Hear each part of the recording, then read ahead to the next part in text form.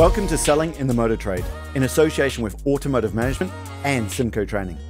This is the weekly podcast where we share best practice, tips, and ideas on how to sell more cars, improve your service department, and generally put more profit into your dealership or dealer group. I'm your host, Simon Bowkett, or some of you might already know me as Skippy. And firstly, I want to say thank you for taking the time to tune in.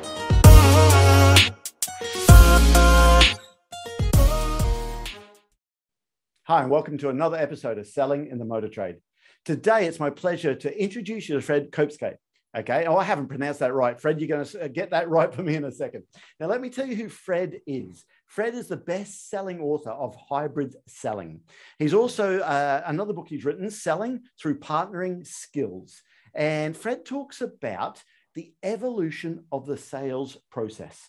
Uh, before we did this podcast, we were talking about Fred about how selling has evolved in the times. And he's got this great training where it goes through from the 50s, 60s, all the way to 2000, and how the whole sales process has evolved, and how sometimes we as salespeople haven't evolved.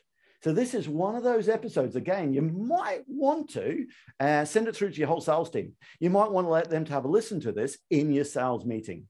So, Fred, welcome aboard. Ah, thank you very much. You got the name right as well. Hey, I Bang did. on. You, I, I didn't get chopstick, cupcake, soap flake, cheapskate. you, you get all of those. All of those. okay, thank you very much. Now, listen, this is uh, for selling in the motor trade. So, we always like to ask our guests about their motoring history to start with. So, Fred, your first car that you bought, uh, do you remember what it was? It was a Peugeot Mm. 109, I think. A little 109. silver number. Yeah. Okay, okay, you- uh, 109, silver number. 109? It was silver. I remember it. Silver. It was 109. It was a small one. It was. I was just out of uni. Didn't have much money. that's fair enough. It was a small one. Okay. Uh, I, I'm just thinking about Asia, maybe a 106, maybe something like that. Um, a 108, uh, 107, doesn't matter. Listen, It's one of those. It, it was kind of the bottom of the range, smallest one. It got a little bit of a boot, It- um, it and it's good. It, it suited me. Suited me. Bit of a Going from. Bedding up to 109, Lichfield every day. I grew up in Australia, so uh, the guys now are going to say, "Come on, Simon, you don't know your cars over in the UK market." Okay, so uh, you bought it first car out of university. Yeah, I I, so I I got a job straight out of uni. Um, in fact, I got a job before I finished uni. It was, I was very naive. I got offered a job and I started two days after my last final.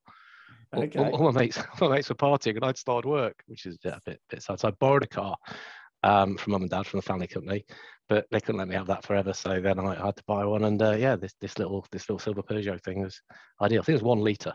Oh, Okay. Did you buy it through a, uh franchise car dealership, or did you buy it uh, independent from a? Um, uh, it would have been dad would have had a mate who had a mate or something or I'd, I'd have thought, you know.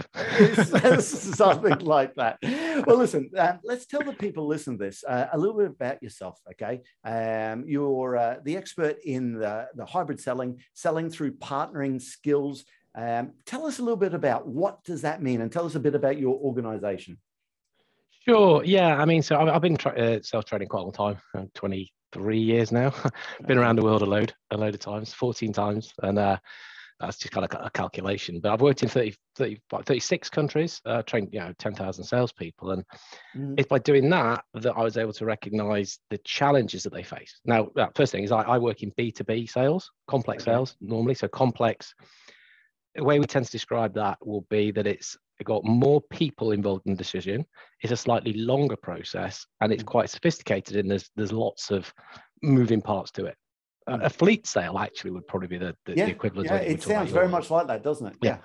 Um, so and I kind of recognise these these uh, these issues that people have got, and you can pretty much whoever you work with, is it IT, is it beer, is it ingredients, is it whatever, you know, machinery, they they've got similar stuff. And so well, I can go into those in, in, a, in a while, but really to, to solve these, what I came up with was that you need to be looking at the stuff that's gone on before that Mhm. still works and still relevant and still valuable. You also have to bin some stuff that's gone on before because it's not helpful at all. It's actually damaging Mhm. you take that on one hand, but what we need to do is to develop a collaborative mindset. So, how do you develop a collaborative mindset? How do you work more with a customer? How do you co create? Well, that's by entering it by using partnering skills. So think of the customer as a partner, even if it's not a formal uh, alliance, a formal you know, business rela- relationship. By thinking like a partner, you will act better. And I came across this concept of PQ. Like PQ, sorry, did you PQ? PQ? Yeah. So yeah. IQ I've not heard that. Forgive my ignorance. Then. Yeah, no. So you probably heard of IQ. Got a thought. You know yes. how intelligent you are. EQ is also how intelligent you are, but it's like your emotional intelligence. PQ is your partnering intelligence. And so this isn't this isn't something I made up. It's um, a guy called Steve Dent did a load of work on this uh, back in the late 80s, early 90s. Mm-hmm. When you know when big companies were doing their, their alliance type stuff, yeah, the airlines were coming together, weren't they, and forming these yeah. big you know, kind of thing. And they wanted to get better and better at it. And I asked him to research how do you do it? How do you what do we what do the organizations need to do? And he's did the research and came back to them and cut long story short, said, Well, organizations don't partner, people do. Mm-hmm. Partnering skills are people skills. And so when you look at these, I, I looked at these things and I thought, well, you know what? Those things should be relevant for any salesperson. If you if you're not baking these into the way you operate, you're not up to date. You're doing stuff from a bygone era, and you're not you're not thinking right. You won't be able to behave in a way that's most effective. So I kind of brought the stuff that still works that into the, the, the model that I use to, to help um, those salespeople get, get better at what Fred, I suppose, am I right in saying we, we would say in the retail car sales world that uh, people buy people?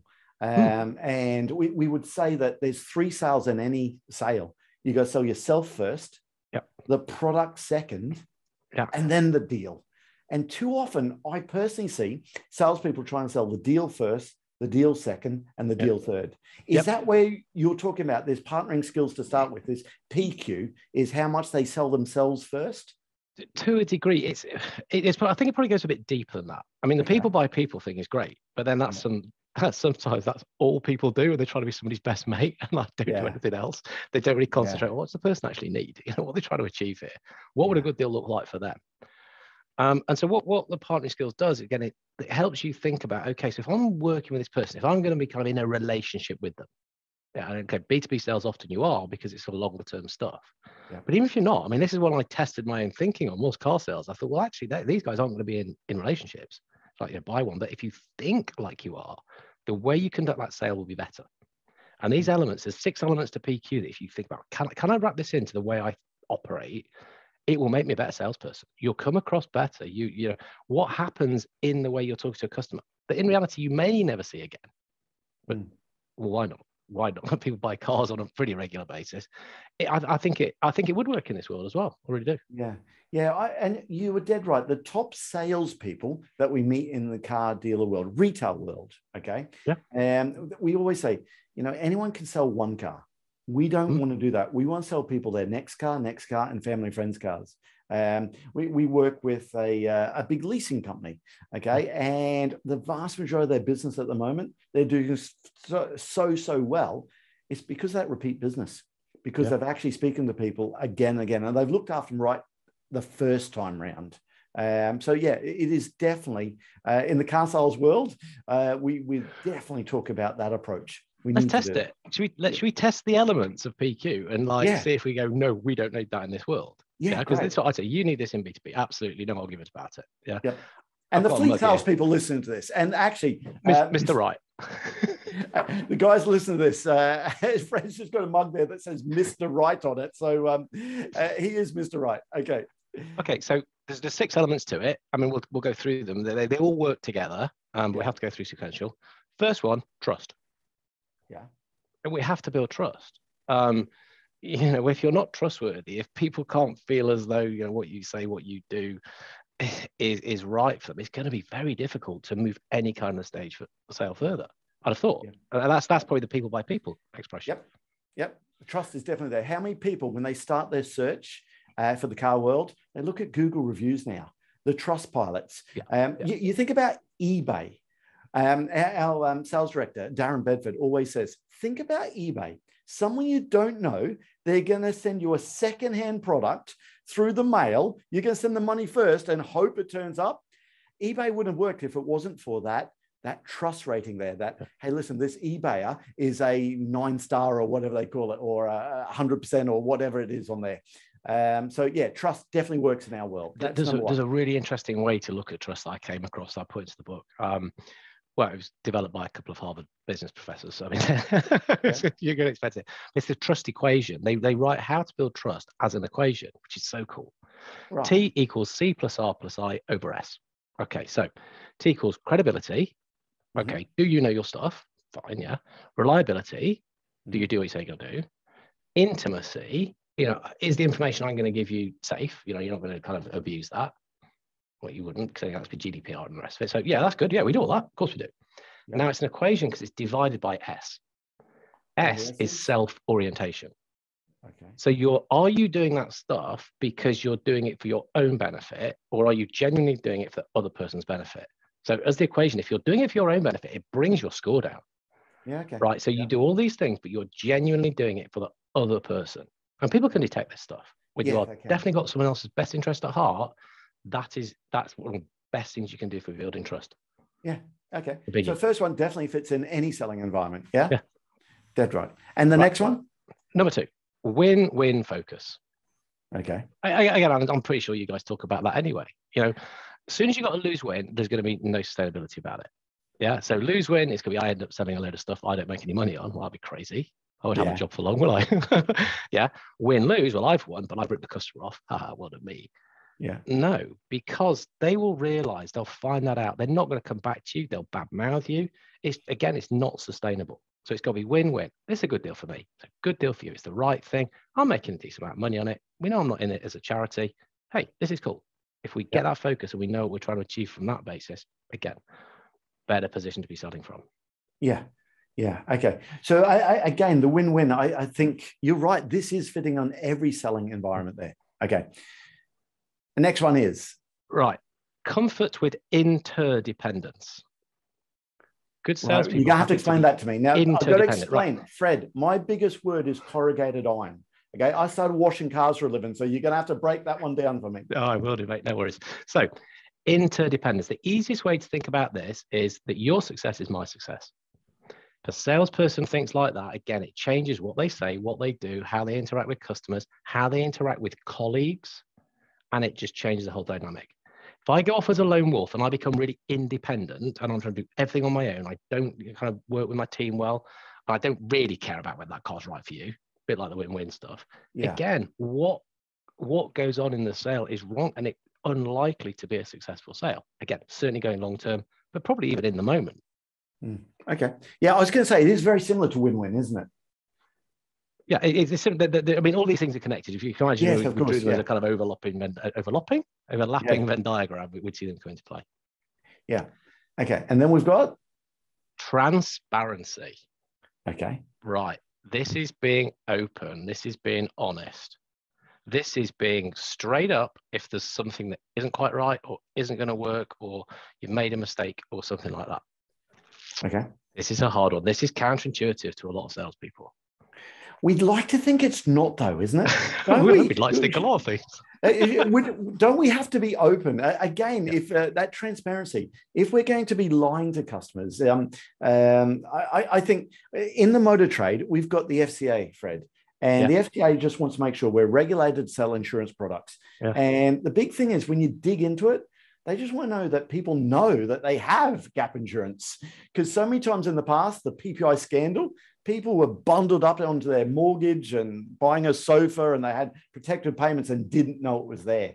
Um, I'd love to think in the motor trade, the people listening to this podcast, that transparency, we'd love to think that's a, that's a given now, but I suppose maybe it's not. I think it probably what, what you're defining as transparency and what I do and how ah. it can be used goes even further. Okay. So th- there's a guy that I've got a lot of time for, an American author called Todd Caponi. Mm-hmm. Sounds okay. a bit mafioso, doesn't it? But Todd's yeah. a great guy. He's a bigger sales geek than me when it comes to history of sales, by the way. Right. Um, okay. But his book, The Transparency Sale, he talks about leading with a flaw. So something that might not be quite right for the customer. Right. Rather than talk about all the good stuff and think, God, I really hope they don't ask me about that. Yeah, yeah, yeah. it's tell you what, Mr. Customer, what I'm going to show you, this bit here isn't really quite right for you, or there's a bit of a mistake here, or there's a ding here, or there's something wrong with this. Mm-hmm. Okay. However, what I why I am showing you is because all these other things are right for you. Yeah. That was the most important thing for you. It's not right. Now, as soon as you've done that, that's a massive trust builder, isn't it? That's kind of like, wow, yeah. That's that, you can imagine people rocking back, thinking, "I thought you told me you could tell me everything's perfect." No, I'm going to be realistic here. Well, let me uh, run this past you. Maybe our train we uh, we do um, uh, selling the online world where we talk about how to do see it now videos and videos yeah. on the car through to people. You, you've probably seen it buying a car yourself. Okay. Yeah. And something we always do is we find out some the stone chip on the car or yeah. something there, and we point out every time, Fred. We say, "Hey, listen, the only thing I want to point out is there is a stone chip down here. Now I will touch it in myself for you, but I thought you'd like to see it before I yeah. touch that in. Now, yeah. Fred, we're guilty. We would do that right at the end of the call to action. Maybe we should bring that right to the beginning of those videos there. Uh, on a used vehicle, obviously, not a new car. Um, we really need to maybe look at that because I, I get the, the idea of building that trust so quickly to start with there's an interesting psychology in it, and Todd goes into it in a whole lot of detail in the book as to why you would do that. Because if you're doing that, and it's not it's not this sort of manipulative selling anymore, where you're trying to disarm a customer, mm. but it's just a well, okay, that's that's pretty straight up of you. That's cool. Yeah. Because it's almost like this is getting too good to be true. And the more you say how good it is, I'm going to be listening. Well, no, mm. if something's too good to be true, it probably isn't. Yeah. So yeah, it's, it's, it's, lead with the flaws. An interesting, uh, interesting. Yeah, great. Yeah, great. Okay, and then after that, we talk about comfort with change. Comfort okay. with change. Now, again, we're talking B2B sales. A lot of time, people are trying to sell change. They're trying to get people to do something differently or to do it in a different way, um, which is going to involve some kind of change. Now, if we're not comfortable with change ourselves, you know, what, what leg have we got to stand on asking somebody else to? Yeah. Um, ch- change is difficult. You know, asking asking someone to do something that they're not accustomed to, you get some quite deep reactions to it. And while for us it might be logical and really obvious, and this is why you want to buy this car because uh, you know why wouldn't you? Yeah. It's like, well, I've always had this brand, or I like this one. I don't want to get rid of it. That emotional attachment people have. Yeah. Again, if you understand how people go through the change change curve, the different ways of reaction, some people love it, some people hate it. Again, it just helps how you can change what you say and do to, to just land your message better. A, a question then. Um, we have lots of customers looking at the EV route. That's yeah. huge change. Okay. Yeah. Um, yeah. We've got lots of people uh, nervous about uh, yeah. range anxiety. Can I charge it when I go and see my mother up in Edinburgh? Do yep. I have to stop? Uh, when I stop at that petrol station, are there enough changing points? And that, that's such a huge uh, challenge that we need to overcome because yep. we're asking consumers to make the biggest change in mm-hmm. their motoring needs for uh, ever. For most people, definitely for me. I'm uh, 48 now. I've been driving since I'm 17 years old plugging a car in as opposed to not putting petrol in it is a huge change there. Yeah. So uh, our job is to really uh, find out their pain points first uh, and see if we can overcome those pain points. Is that what we really need to do there? Yeah, I mean, the thing that the, the, the other kind of tip or, or kind of way of addressing this I'd give is that if you're doing this day in day out and you're have worked out in your own mind why actually it's a really good thing. And actually it's quite exciting and it is a step forward. And hey, let's go for it. Electrification, here we come. Happy days. Loads, so many good stuff. And you'll get excited and you'll talk about it like that, you know, full of enthusiasm, pumped. Now, if somebody isn't, when you think about a change curve, looks a bit like a grief curve. It's like they will be in denial that even they have to change. No, no, no, that legislation isn't going to happen. They're going to change it ultimately anyway. Well, no, they're not. you know, or hmm. no, I don't want to have to change. They'll go through anger. Yeah, they'll go through this kind of okay, I'm starting to make sense of it, but I'm kind of balancing up whether I like it, whether I don't. Yep. If you're not matching or you're not recognizing where they are, and you're trying to sort of you know, blast it all with your enthusiasm, it, it, it, it won't work. It'll antagonize a little bit. So it's kind of sometimes that they're at this stage, this is where they are we just need to go slow down a little bit, just deal with that concern, go a bit steadier. If someone's excited yeah. about it, yeah, we can be as excited as we want to. So just I, recognize that people go through that that curve at different paces, but we all go through it. A, a good friend of ours, Andrew Dent, is doing uh, educational events in dealership world. And it really is doing exactly what you're talking about, sensational. And um, uh, this, this, is not a sales pitch because Andrew didn't reach out to him at Connectivity. Uh, the people listen to this. So many people are nervous about the EV. So they're having events not where they're trying to sell people things, not yeah. when they've got the bouncy castle type thing or balloons out the front. They're saying, listen, come along to these events, and we've got the experts from the, the solar companies. If you want to go down solar, uh, the charging, all the different charging applications, uh, the different, not just trying to sell that brand of EV vehicle. because he's identified and he's right there. The actual vehicle is the last part of the puzzle for a customer. They're worried about how do I charge it at home? How do I do it? And it's just this educational event. And the success he's having from those is huge because it's that that denial that people are talking about, I don't want to change. I, I, do have to change. There's not enough charging points. That anger almost. I don't want to give up my mm. petrol engine. I mm, remember yeah. my father-in-law saying, nah, I'll never give it up. Okay, it's in my blood there. But you know what? He's now saying, oh, that Taycan, apparently its performance is quite nice. It's not like a milk so um, again, that's a bit of a plug for Andrew Dent. But um, these these events, where it's pure educational, is um, it's not selling at all. But what yeah. they're selling off the back of it is huge. I'm going to go along for those events because I've got a guess at what Andrew will be doing here. He will have plenty of logic, he'll have plenty of facts and figures, which yes. he'll give, but I suspect he'll be wrapping a load of stuff up with stories. He'll be giving people stories that they can take and tell mm. so that people can understand the change and understand why these things are happening and how to deal with them. Yeah. And the important thing of this is, is because when you try and bomb someone with logic, we don't make decisions logically anyway. We make them emotionally. Yeah. Best way to get an emotional message across to somebody is to tell them a story. Yeah. Like somebody who is in a position like them, but this is how they came out well from doing this. Yeah. Okay. If you can equip yourselves with those things and then use that in the pitch as you're trying to persuade or move people towards it, you do a way better job. Yeah. Stories do sell. Yeah. Stories right. they do. And then we've got one more. Go on. Future orientation. Future orientation. So again, this is what good salespeople will do. It's rather than kind of always dwell on the past, rather make decisions looking backwards, rather than think about, you know, kind of what we're doing here and now. When we can get people looking forward, we can work out what it is they're trying to achieve. We know what their vision are, the goals, targets, and then we can work out what is the path to get to there to achieve it and make decisions and plan based on it. Again, the, the, way we talk and the stuff that we do will be far more effective than always looking in the mirror and say, oh, well, you know, uh, EV, let's talk about that. Oh, electric cars uh, used to have no range capacity at all. Yeah, well, they've got a lot better. Oh, there weren't any charges anywhere. There's quite a lot now, you know. Yeah. Let's not look backwards all the time. Let's look forward where it's going, how many more they're going to be. Again, it's that focus and how it changes how and what we talk about that makes a difference. Mm, okay, uh, good stuff. Interesting stuff there. Tell us, tell us about your background then. So, what did you start selling before you went into be sales training? Um, how do you uh, from uni? How do you get to where you are now? Well, well, I say I got a job straight away. That's because I was having a beer in a rugby club one weekend, um, chatting to a guy I'd never met before. Asked me what I was studying. said commerce and Spanish. Yeah. Do you speak Spanish then? Yeah, I do. Um, and that was it, really. I got a call a couple of days later where this guy tracked me down and said, Look, I want to speak to you because we've got a project coming on in Spain and we need a Spanish speaker who's got a bit of understanding of marketing. Sounds like a your person. Wow. And what company was that in? Uh, so this was a company called IMI. Okay. Not automotive IMI. Good. um, okay. IMI in Birmingham, um, which was Imperial Metals Industries originally. Um, okay. But I was pneumatics basically. So know, pneumatics, which will be in the in, in the workshops with all that yeah. and all that sort of stuff. Yeah um, or the cylinders, putting the, the ramps up and down. Yeah, it was that. It was working for a company called that.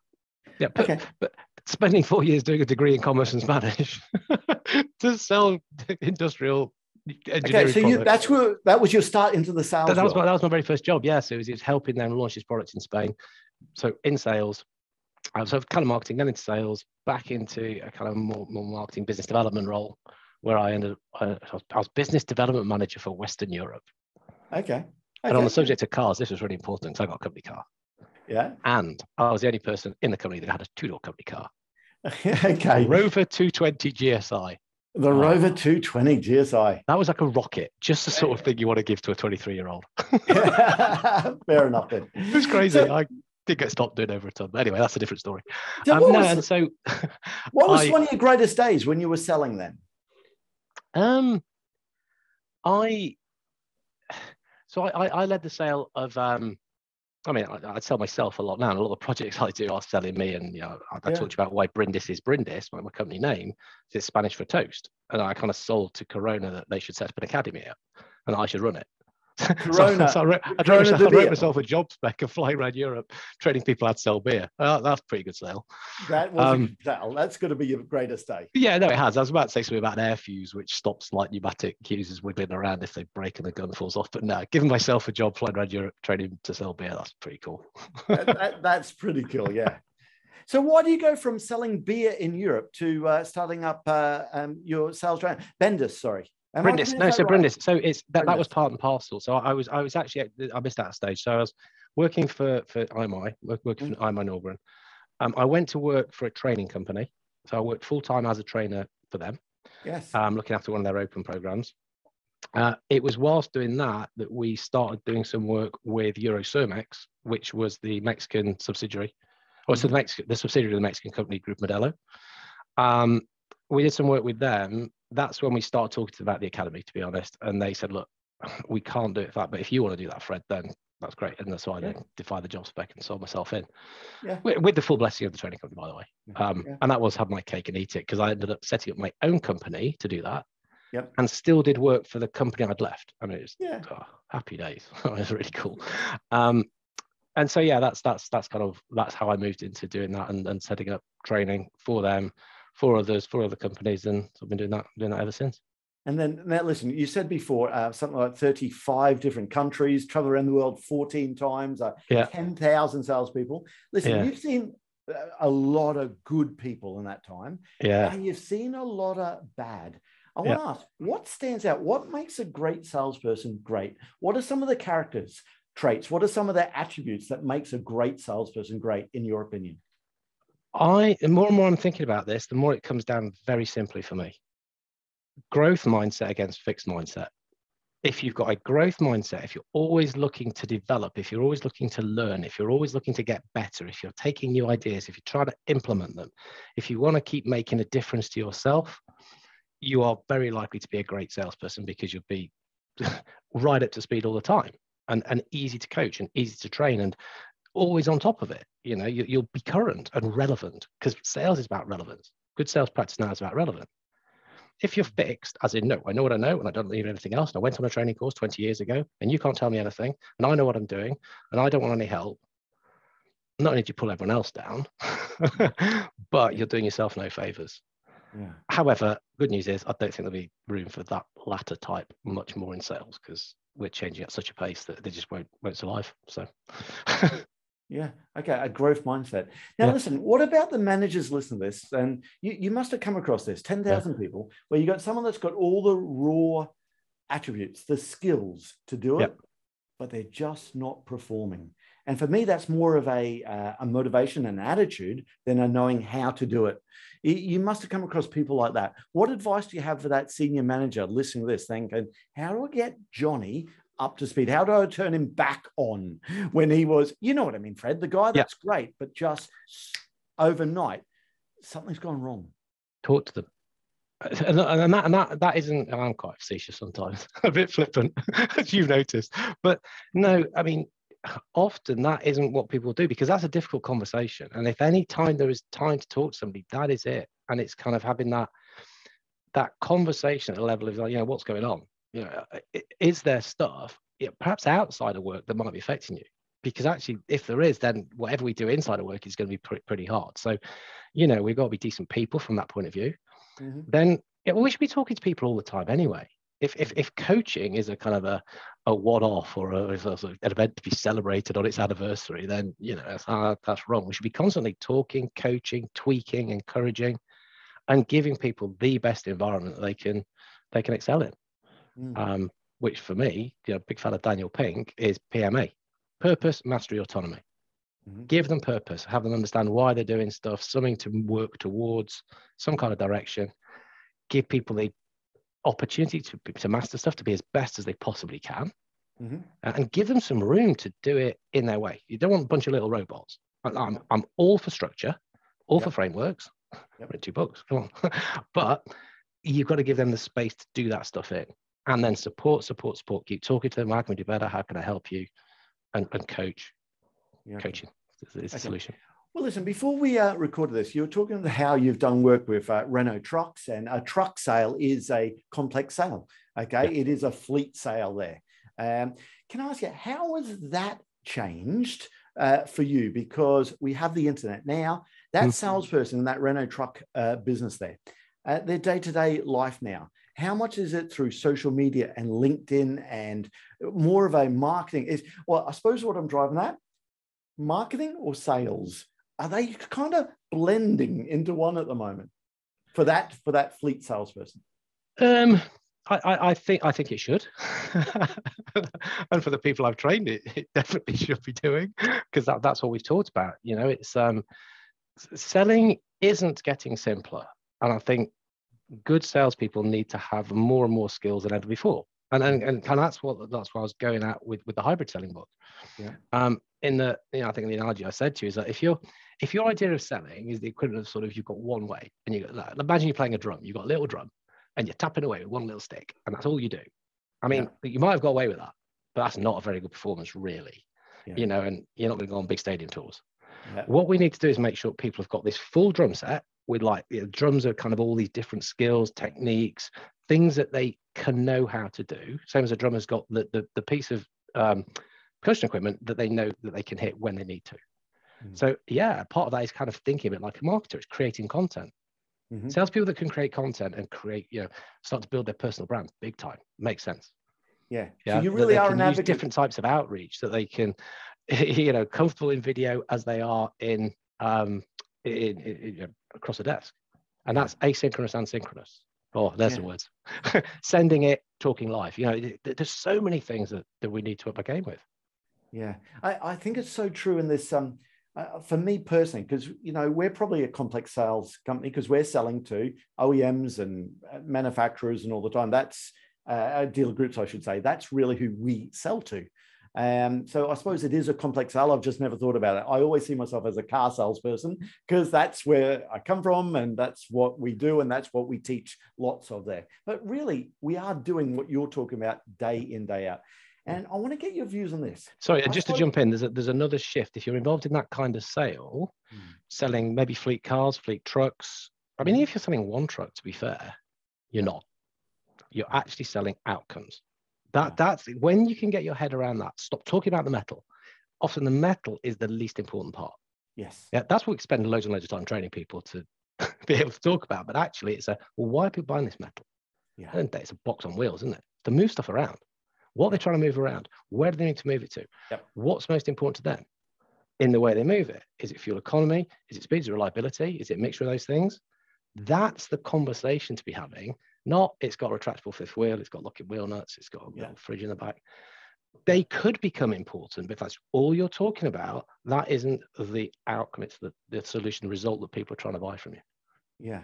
So I want to get your view on this one. Most of my selling since uh, COVID 19 has been this way via Zoom. Okay. We have clients. Um, hi, Neil and Kevin. I know you listen to this. Uh, I've not seen them yet. Okay. Um, and we've done their training for the last, uh, I, I, think it's two years now. Okay, come up to two years, and I, I, I need to get out there. I feel guilty because they're they're great people. I need to just fly out and catch up with them. Okay, and Kevin, if you listen to this, there's my apologies. I will put that date in the diary and get it sorted.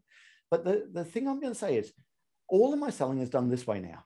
Yeah. Okay. Everything is done this way. Um, very, uh, uh, even clients in this country, our clients are preferring this. Are you finding that in the truck world, in the complex world, that Zoom, Teams, whatever?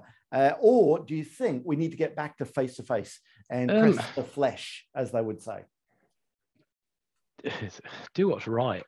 well, what a helpful answer, Fred. But what I mean by that is if somebody very much wants to see you face to face, okay, well, that's what you're going to have to do. Mm. But don't be forcing to try to see them face to face if they're saying, you know what, I'm okay on Zoom. Yeah. Oh, no, but surely it's better face to face. No, because if it's face to face, I've got to the office because you can't come to my house. I like working at home two, two days out of the week. You know, it's when you come to the office, I know you've driven miles. And so you're going to want to talk forever. I can do this in 15 minutes and I'm okay doing that on Zoom because we can chat and then I can turn it off. You know, and a lot of people are just happier doing it. They're just finding it easier, way more convenient. Now, the, the diary can then be quite tiring because it starts to look like a patchwork quilt. But if that's what someone wants to do, do it. Yeah, I, I suppose it's efficiency. Um, and it's, um, I, I, can remember before all this happened, Darren and I went out to Maranello for a meeting. That involved me driving from Cheshire down to Luton. We jumped on a, uh, a, a hotel the night before, jumped Yeah. on a Ryanair flight, which was delayed. Okay. Um, got late for the meeting in Maranello. I then fucked the whole meeting up. Thank you very much, Ferrari. Okay. But I did. Okay. And you know when I got it wrong, and I did on that one. Uh, drove back to the airport, um, flew back to Luton. I got home after stuffing this meeting up, you might add, okay, beat myself up the whole time. Okay. I got in at like one o'clock in the morning or something like that. And I'm just thinking, you know what? I've wasted two days effectively for that meeting that I got wrong. Whereas I could quite easily get it just as wrong and just as quickly here, okay, and get more efficient on doing other stuff. So I, I- suppose it's how efficient does that salesperson have to be? You can obviously get to more people this way as opposed to pressing the flesh. I I do I yeah, you just mess stuff up faster. what great way of selling video. Yeah. no, no, but it, it, I, I, I, I love it as a way of working as well. It is way more effective. You know, you can, and, you know, you work globally, I work globally. It's like you can just do so much more. I, I've done training sessions seven o'clock in the morning. There's one company, seven o'clock in the morning with their APAC people, and then three o'clock in the afternoon for Europe and US. It's just like, there we go. Rubbish on collecting air miles, but it's it's very, very effective. Hmm. Now, some people still don't like it because they say you can't build a relationship properly. And I, I'll push back on that and go, well, you probably want to have a look at your relationship building skills. Because if you can't build a relationship by talking to somebody with all of the channels that you've got, you've got emails, you've got this, you've got everything, you can see them, you can hear them, you can meet more often. Hmm. I mean, really, you know, maybe you could try and get back on them and meet them. Can, can I just talk to you every Tuesday for the next two weeks to try to, you know, so you can because you can have more meetings more often. Also, you can pull people together. Again, bigger, bigger ticket sales, more people involved, people in different parts of the world. Again, get them all in on a on one call. Hmm. And and and for me, and people aren't using this at the moment. Yeah. Uh, I- I know we use it- sending video, sending video is a biggie. That is really cool. Yeah, I think this is one stage where the, the motor trade is so much further ahead than most Mm. other industries. Um, we, we wouldn't have a client now that isn't used to sending a, a, a CitNOW video out there on that new or used vehicle. Now, I don't think it's used uh, enough. I think the qual no, let me rephrase that. Um, I think the quality of those videos sent, and be it WhatsApp or CitNOW or anything like that, could be improved. They definitely could be improved in lots and lots of cases. But the impact of video, it's not the future, it's the now. And, Yeah, and I yeah. say we're, we're so often we're teaching or we're selling to the YouTube generation. Hmm. If we want information on how to fix that mower that's not starting, you want information on how to uh, cook the Christmas dinner in the right way. Don't we just go to YouTube?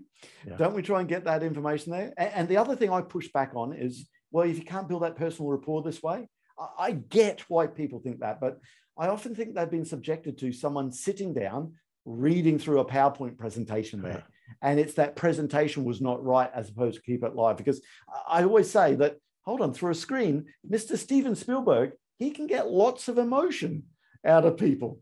Okay. In uh, when ET passes away or something like that. Okay. Or uh, Yeah. fear, where that shark is coming to someone. Of course, we can get emotion through this medium of video. So, Um, so I'm intrigued. I've never, mainly because I've not bought a car. I've got rid of one because I don't need one anymore. Okay. um, but the CitNOW videos I've heard of, I'm Um, sorry, I'm Fred, uh, We intrigued, don't want to speak to you anymore. You don't buy cars. This is for the motor trade. So thank you. No. Okay. how to win friends and influence Yes, people. you don't have a I was car. doing so well. Oh, they're all going. Fred hasn't got a car. Oh, Yes. How is my LinkedIn going to be hit up now? got a deal for you. How can you? No, I'm intrigued with the the CitNOW and which way the Mm. camera's pointing. yeah. Is it 100% pointing at the car? And you're talking about whether it's got whatever, whatever, whatever. See, whatever. that is such an Does it start off pointing at the salesperson, saying something like, "Hi, making this video for you because it was really good when we chatted. You said to me that what you're looking for is a car that does X and Y and Z.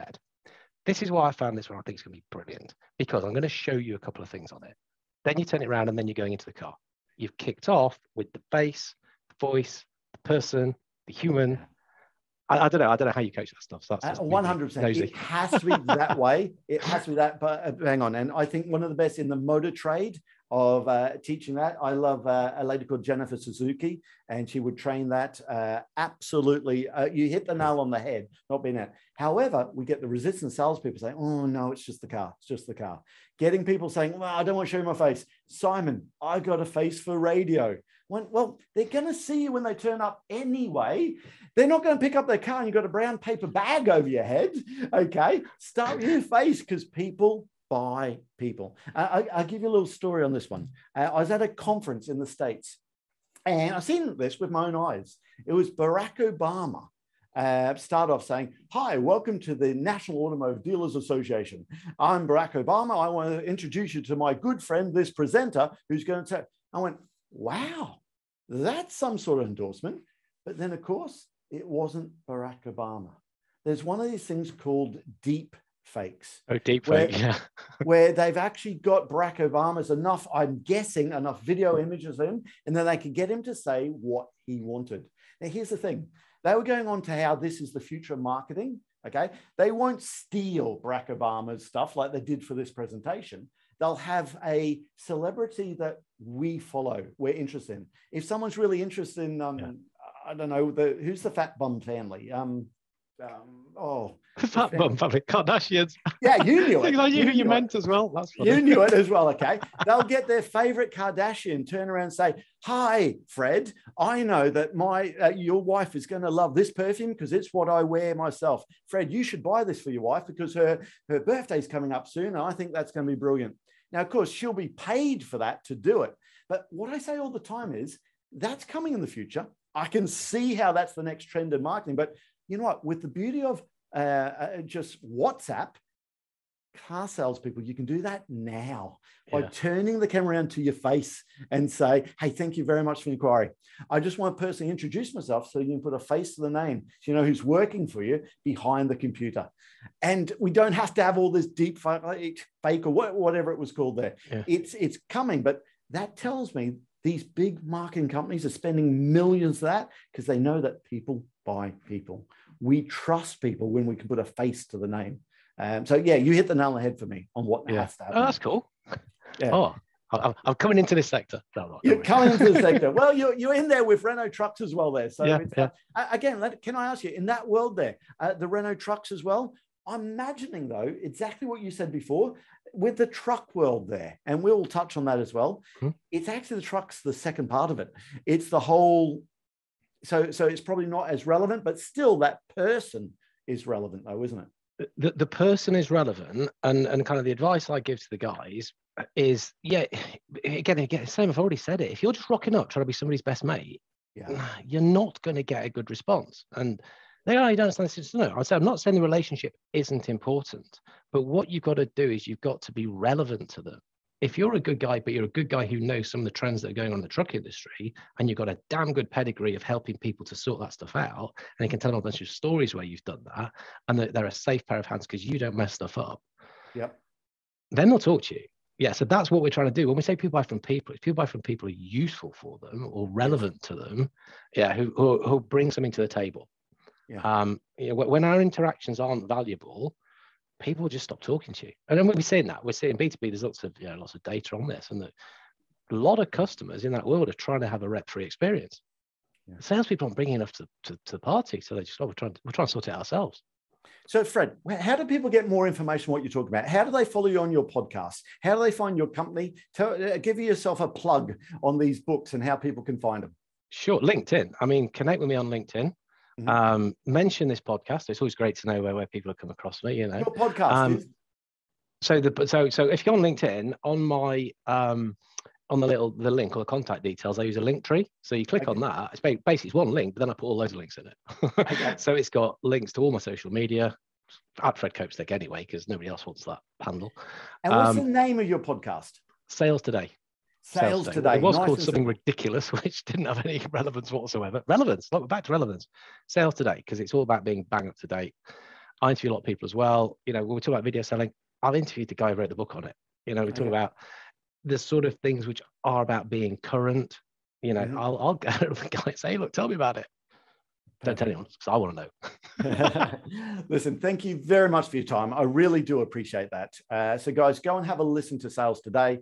Uh, grab one of Fred's books as well there. Follow him on LinkedIn there. And uh, thank you so much for your time. I really appreciate it. That's a pleasure. Thanks for asking me. Good to see you.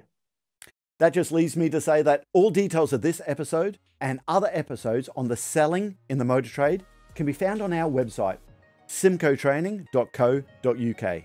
Go there to get a copy of our book, Words That Sell Cars. Go there to sign up to a free trial of our Sales Fitness online sales training program. Easiest way to get hold of me is Simon Bowkett through LinkedIn. Thank you.